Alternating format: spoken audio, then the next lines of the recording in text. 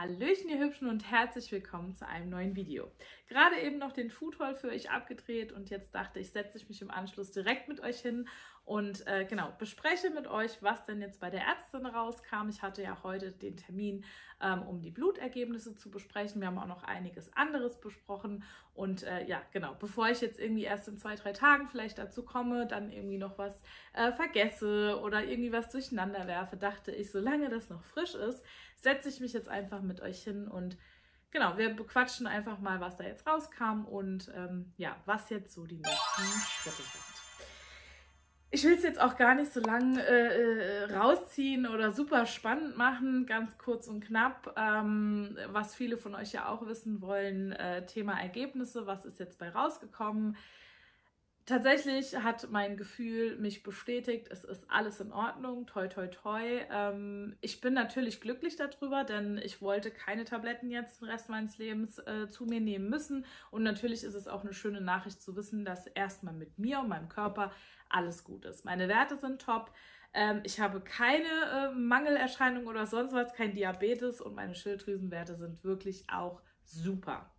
Nichtsdestotrotz, natürlich ist es ein Stück weit auch frustrierend, denn das wäre jetzt die einfachste und schnellste Lösung für mein Problem gewesen. Ähm, da hätte man medizinisch was machen können. Ich hätte für mich auch gewusst, okay, ich mache nichts falsch, wobei nichts falsch machen ja auch irgendwie ich habe nicht das Gefühl, dass ich was falsch mache, aber nichtsdestotrotz muss ich halt erstmal noch den Knopf finden, den ich aktuell drücken muss, den mein Körper braucht, um dann endlich einfach ja die nächsten Schritte gehen zu können. Und das wäre jetzt einfach so ein bisschen das Einfachste gewesen.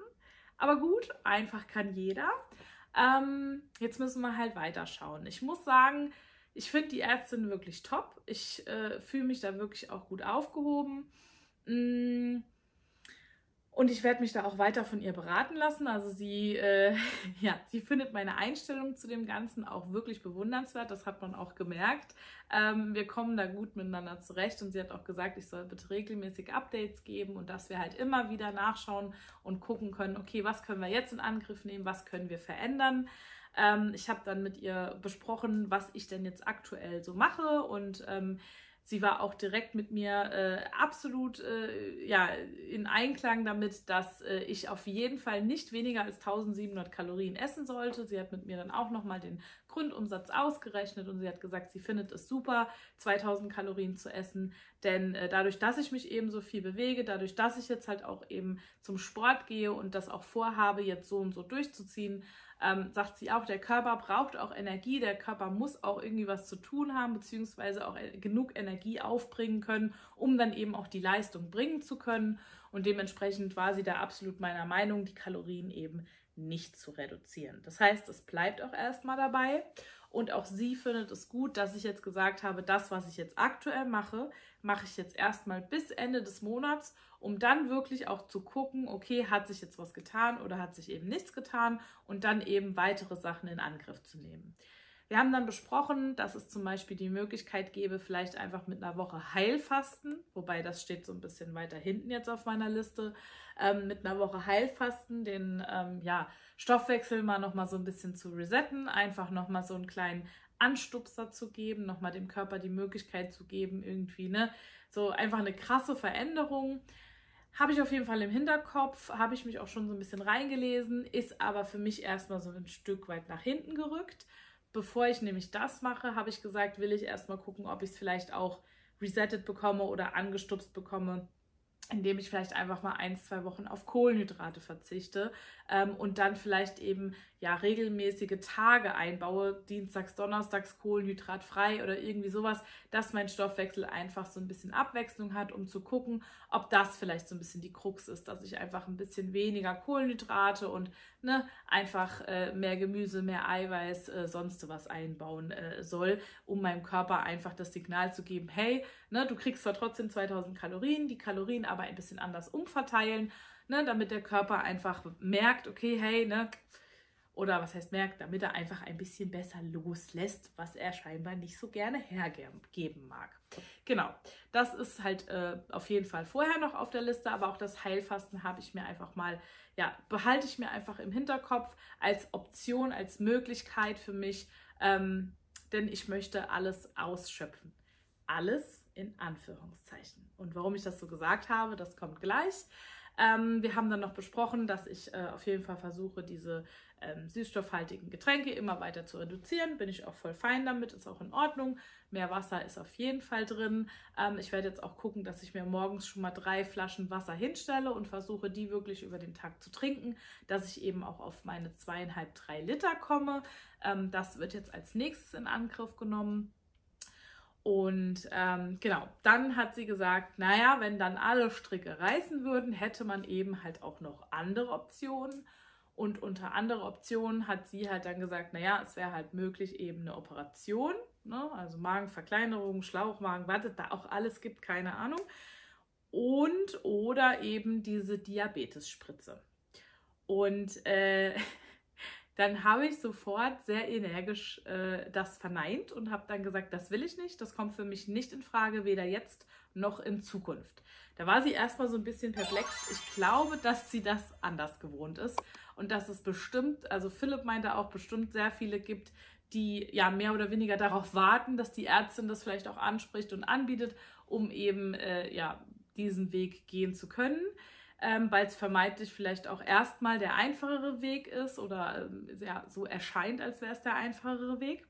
Und äh, hat mich dann ganz erstaunt angeschaut und äh, wie und ne, und dann habe ich gesagt, nein, das ist für mich niemals eine Option. Ich will da nicht in meinen Körper so eingreifen, ähm, weder jetzt irgendwie mit irgendeiner Spritze, mit irgendeinem Medikament, was auch super viele Nebenwirkungen hat, was logischerweise, wenn man es dann irgendwann aufhört zu nehmen, ja auch, äh, ne, dann geht ja auch wieder alles drauf. Also ich will das langfristig und nachhaltig mit einer guten Ernährung, mit Sport, mit Bewegung äh, so schaffen, alleine schaffen. Und ich habe dann auch zu ihr gesagt, der Ehrgeiz und die Motivation das habe ich alles, das ist alles da. Ich muss jetzt nur noch den Knopf finden, den ich drücken muss, damit mein Körper dann auch endlich mal ein bisschen besser mitzieht. Aber ich suche diesen Knopf und ich, äh, es kommt für mich nicht in Frage. Dafür bin ich auch einfach viel zu leicht. Also ich für mich muss sagen, jeder hat das Recht zu entscheiden, ob er sich einer Magen-OP unterzieht oder nicht. Jeder soll sich da frei fühlen und ich bin niemand, der darüber urteilen sollte oder darf, ähm, ob das jemand macht oder nicht.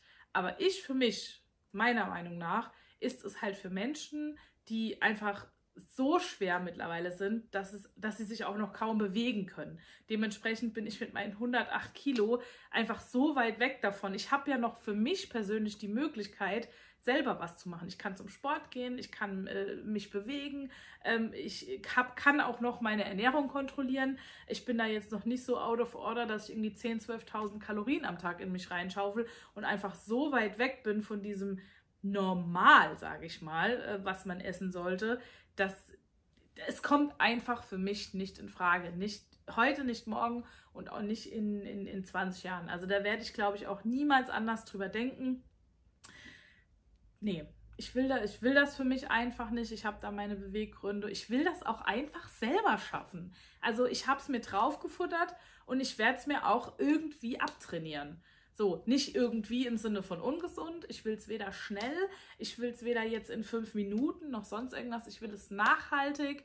Ich will, ich bin mir auch, ich bin absolut fein damit, wenn das zwei, drei Jahre dauert. Bin ich absolut glücklich, solange es halt Stück für Stück wenigstens nach unten geht.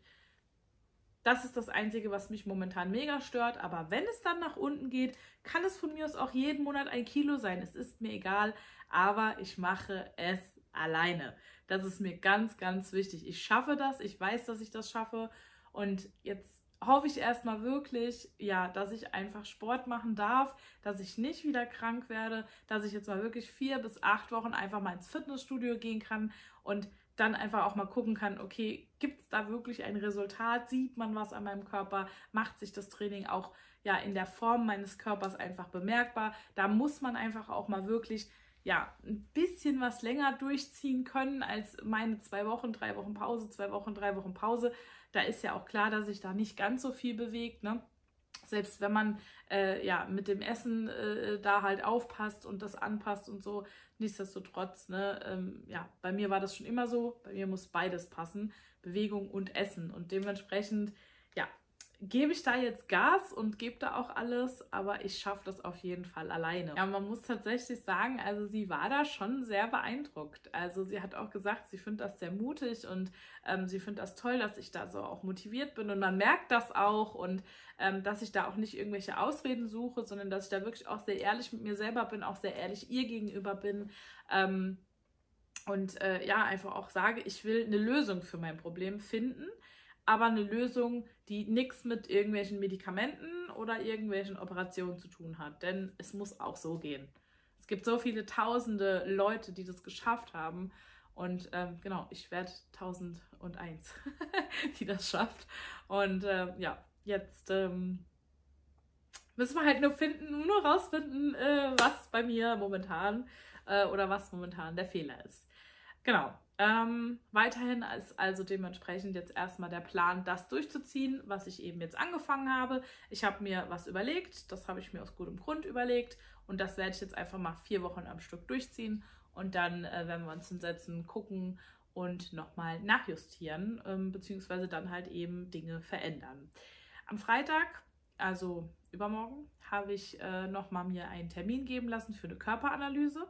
Ich dachte erst, ich mache das ähm, am Ende des Monats, aber es ist vielleicht dann doch nochmal ganz gut, weil die letzte war im Januar oder im Februar, ich weiß es gar nicht ganz genau, ähm, um einfach nochmal so einen Jetzt-Stand zu haben und dann wirklich, wenn es auch geklappt hat, vier Wochen wirklich mal zu trainieren am Stück, dann nochmal zu gucken, okay, was hat denn jetzt tatsächlich von Stand jetzt dieses Training dann in vier Wochen auch bewirkt?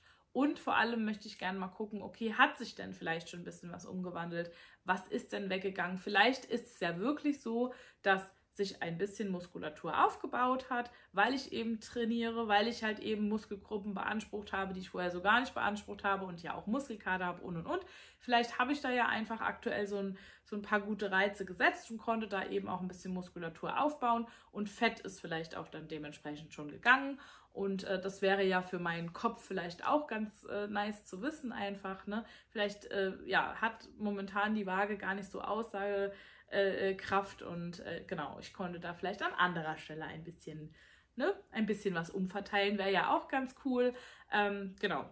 Und deswegen habe ich gesagt, mache ich am Freitag mit René direkt mal eine Körperanalyse, guck mir das einfach mal an und habe auf jeden Fall dann einen Jetzt-Stand und kann in vier Wochen dann auch nochmal gucken, auch wenn dann vielleicht das Gewicht auch nicht so viel runtergegangen sein sollte, aber dass man einfach sieht, es gibt Fortschritte, auch wenn man sie nicht sofort sieht, es gibt Fortschritte. Und ich will auf jeden Fall dranbleiben. Dranbleiben, weitermachen, nicht aufgeben. Auch mein Körper wird sich irgendwann beugen. Er wird irgendwann sich meinem Willen beugen und dieses lästige Fett loslassen. Und in diesem Sinne, ähm, genau, bleibe ich trotzdem motiviert. Ich hoffe, ihr bleibt auch motiviert. Durchhalten ist, glaube ich, das Zauberwort. Und äh, ja, jetzt würde ich sagen, äh, entlasse ich euch mal. Wir haben 22.53 Uhr. Ich werde jetzt hier gleich noch ein bisschen was aufräumen. Ich muss noch die Lebensmittel verräumen. Ich will noch ein bisschen was zuschneiden. Ich habe irgendwie noch ein bisschen was zu tun. Aber ihr merkt es, ich habe auch noch so ein bisschen Energie. Also das, dafür tut der Sport mir wirklich gut. Ich bin richtig energiegeladen. Ich kriege viel mehr geschafft äh, den ganzen Tag über. Also von daher, ich kann euch Sport nur empfehlen. Findet aber den Sport, der euch einfach gut tut, damit ihr auch dran bleibt und auch wirklich einfach Bock habt. Dann ist der innere Schweinehund nämlich gar nicht so groß. Also wenn ich den ganzen Tag irgendwie oder alle zwei, drei Tage hier in so einen Spinningkurs müsste, tausend, da wäre ich sofort, da müsste ich sofort los, da würde ich niemals hingehen oder wahrscheinlich einmal und dann äh, ja, hätten die mich da nie wieder gesehen. Also sucht euch was, was euch Spaß macht und ich werde euch garantieren, es geht euch besser. Also Sport bewirkt wirklich, dass man gute Laune hat, dass es einem gut geht und dass man sich vor allem fitter und energiegeladener fühlt. Und in diesem Sinne beende ich jetzt wirklich das Video, sage Tschüssi und bis zum nächsten Video.